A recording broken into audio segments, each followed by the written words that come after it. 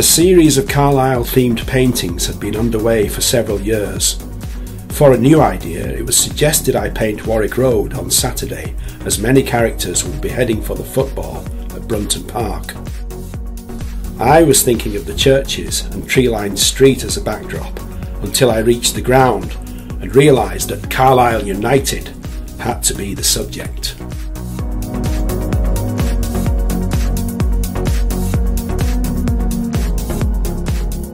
Allow me to share with you how these paintings came to be.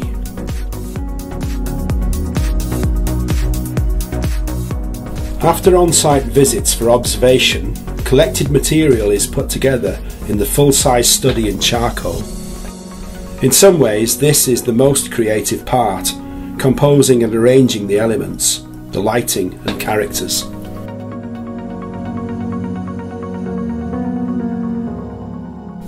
The painting is largely worked in the studio from the charcoal study. The drawing is transferred to the canvas. Here, the main outlines. Thin transparent washes are applied across the entire image. The ink lines show through. Some of the colour remains visible in the finished work. The thicker oil paint is developed over the underpainting. I try to work confidently at speed to give vitality to the paint and movement to the figures.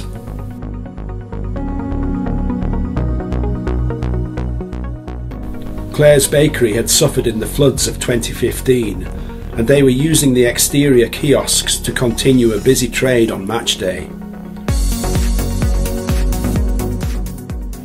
The premises are now further along the road, so the painting becomes a social document.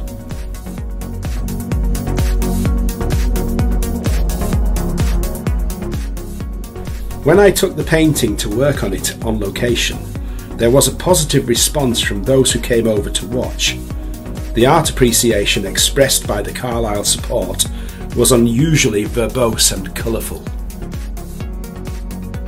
The success of the Warwick Road painting prompted people to tell me they would like to see something inside the ground.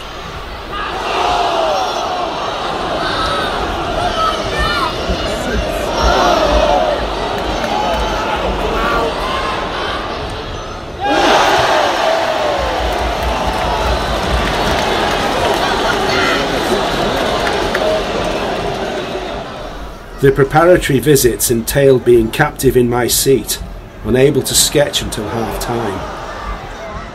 I spent much of the game not watching the match, but observing the people.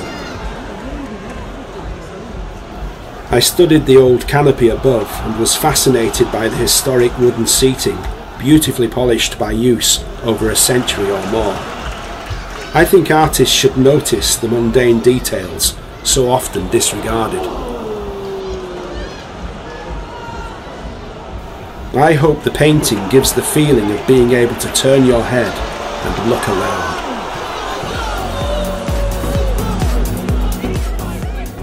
In the year between the paintings, I developed a quick technique for transferring the complex study onto the canvas. This used to be done by use of a grid to enlarge a sketch, or commonly tracing the drawing to canvas using graphite paper, a bit like carbon paper. The drawing is reverse printed onto a plastic coated paper. The ink remains unfixed. The drawing can then be burnished onto the canvas in a few seconds. Then the painting is immediately underway.